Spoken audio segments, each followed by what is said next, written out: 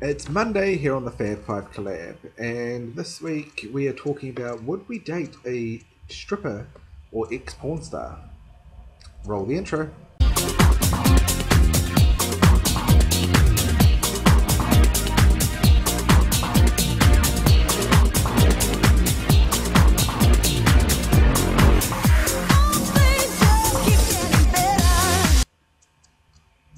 Now, this question is very interesting. I mean, it depends on what sort of genre of porn they're in, really. Um, because obviously, if they're well known and you're going to be seen with them, people are going to assume that you do what is in the porn. And assumptions are the mother of all fuck ups.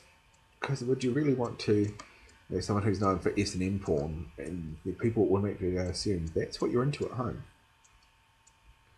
Uh, I actually worked with a guy here in New Zealand who then went off to the UK and became a porn star. And the stuff he did in the porn was definitely not what he did here. So, yeah. I mean, if they weren't well known, yeah, they only had one or two videos that weren't on major sites, yeah, you'd probably be alright.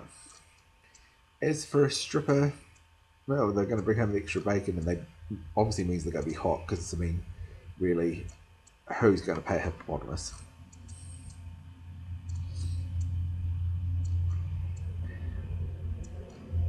Have I ever dated a porn star or a stripper? No.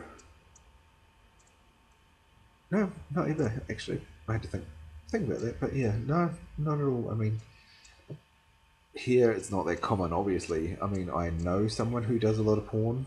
Uh, they live in Auckland. I definitely want to date them.